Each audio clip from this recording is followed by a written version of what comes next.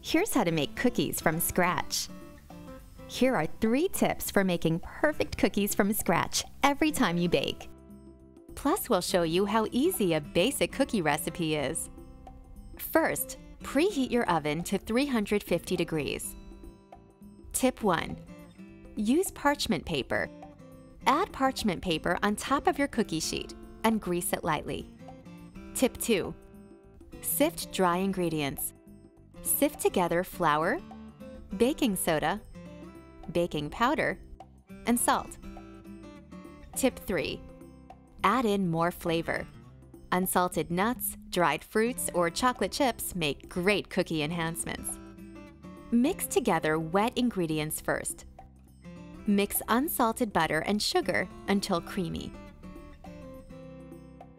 Then, beat in eggs. Choose the largest eggs you can buy, one at a time, until well mixed. Add flavoring, such as vanilla or almond extract. Add dry ingredients, mixing slowly. Add in yummy extras, like nuts, chocolate, and dried fruit. Drop spoonfuls of your batter onto the greased parchment. Space cookies 2 inches apart so they don't spread into each other.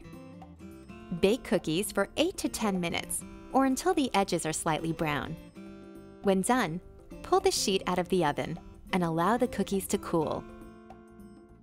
After the cookies have cooled a little bit, serve them.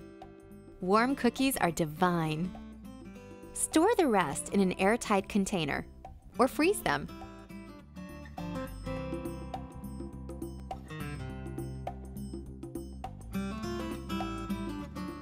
It's always a good idea to have homemade cookies on hand.